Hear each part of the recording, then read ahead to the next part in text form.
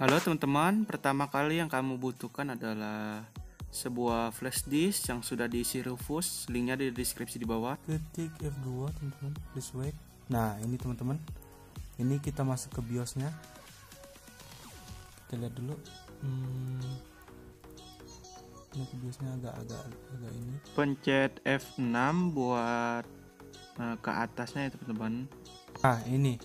Ini teman-teman ya. Ini kan pertama tuh buat prioritinya supaya kita bisa masuk ke upgrade nya oke kita ke F10 kita save ya. Kita save kita pencet enter. Sudah muncul logo seperti ini, tinggal kamu tunggu saja ya sampai tahap berikutnya. kita ini dulu teman-teman ya kita masih biarin aja. Ini tem dan ini kita nanti kita setting di akhiran aja. Start now. Setup is starting. Tungguin aja. Sebelumnya sih Windows 10 nah oke. Ini banyak pilihannya teman-teman ya. Kita tinggal pilih aja. Kita pakai yang Pro. Kita pakai yang Pro. Upgrade-nya baru loh baru bulan baru bulan ini bulan 10 eh oh iya kita accept hmm. hmm. nah di ini custom ya teman-teman. Kalau mau hapus-hapus kayak driver kayak mau apa? Partisi ke pencet yang ke custom. Kalau mau langsung upgrade aja tinggal yang pencet yang paling atas kalau nggak mau ubah-ubah dulu. Ini kan karena saya mau hapus-hapus gitu ya takut ada virus atau apa gitu. Jadi kita hapus aja teman-teman ya kita hapus kita format-format. Sebelumnya kamu backup dulu datanya teman-teman.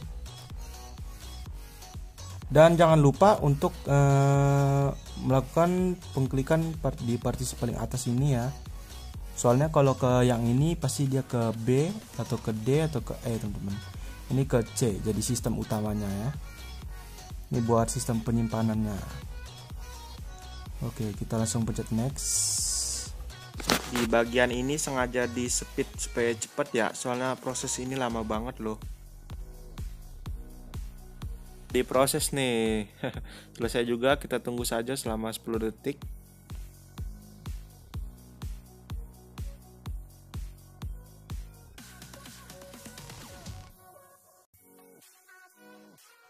Di bagian ini seperti biasa di speed soalnya lama ya.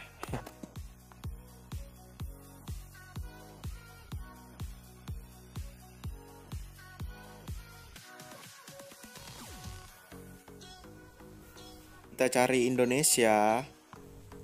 kita pencet yes kita keyboard layoutnya ya nggak usah diganti aja US aja skip Hmm. Nah sebenarnya sih bisa nanti aja tapi saya langsung konekin aja lah biar cepet lah. Nah ini yang atas ini buat apa? Personal ini buat kayak perusahaan gitu kita pakai yang personal aja karena ini buat saya sendiri juga. Nah setup oke.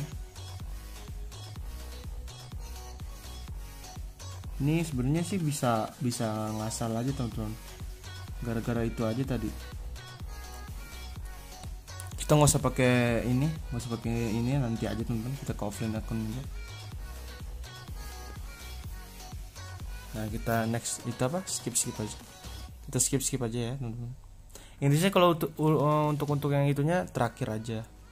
Nama PC-nya nama saya saja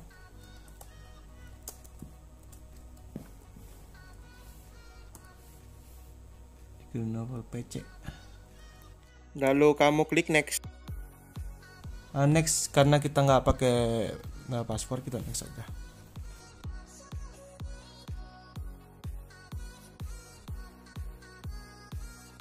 Kita nonoin aja ya teman-teman ya. Nanti sih kalau begini bagian-bagian ini sih bisa diatur sendiri gitu. Tapi sih saya kurang butuh jadinya saya nonoin aja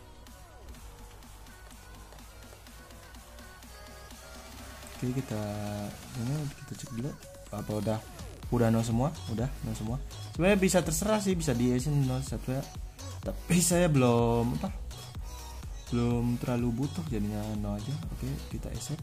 Oke. Langkah-langkah tadi kita kita pencet no aja. Di bagian ini tinggal kamu tunggu saja, sengaja aku speedin karena lama banget loh di bagian ini. Nah, akhirnya teman-teman selesai juga. Jangan lupa untuk di-share, di-like, di-subscribe supaya semakin bertambah wawasan kalian tentang tutorial. Bye bye.